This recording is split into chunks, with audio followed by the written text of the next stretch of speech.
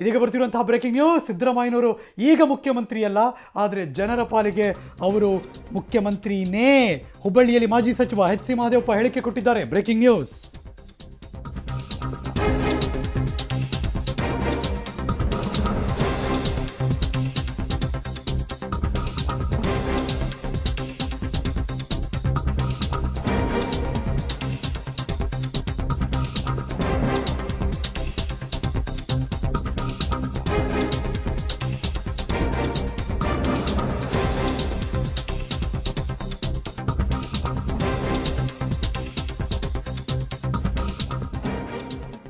ಸಚಿವ H C ಮಾದೇವಪ್ಪನವರು ಹೇಳಿಕೆ ಕೊಟ್ಟಿದ್ದಾರೆ.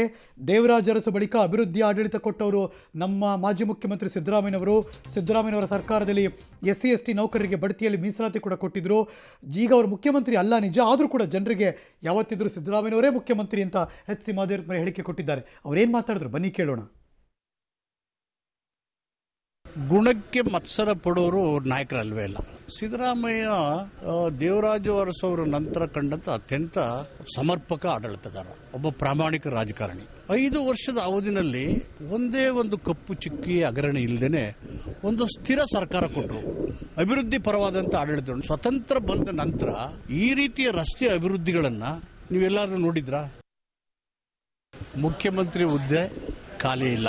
ಜನರ ಮನಸ್ಸಲ್ಲಿ ಸಿದ್ದರಾಮಯ್ಯನವರು ಮುಖ್ಯಮಂತ್ರಿ ಅಂತ ಅವರ ಅಭಿಮಾನಿಗಳು ಮತ್ತು ಅವರ ಅಭಿವೃದ್ಧಿಯನ್ನು ನೋಡಿದಂತ ಜನ, ಅವ್ರ ಮುಖ್ಯಮಂತ್ರಿ ಅಲ್ಲದೇ ಇದ್ರು ಸಿದ್ದರಾಮಯ್ಯನವರು ಈಗ ಅವರನ್ನ ಮುಖ್ಯಮಂತ್ರಿ ಅಂತಾನೆ ಕರಿತಾ ಇದ್ದಾರೆ. ಆದರೆ ಸಂವಿಧಾನದ ರೀತಿಯಲ್ಲಿ ಎರಡು ಪಕ್ಷಗಳ ಶಾಸಕರ ಬೆಂಬಲ ಪಡೆದು ಕುಮಾರಸ್ವಾಮಿ ಅವರು ಮುಖ್ಯಮಂತ್ರಿ ಆಗಿದ್ದಾರೆ ಸೊ ರಾಜ್ಯಾಂಗಬದ್ಧವಾಗಿ ದರ್ ಇಸ್ ನೋ ವೇಕೆನ್ಸಿ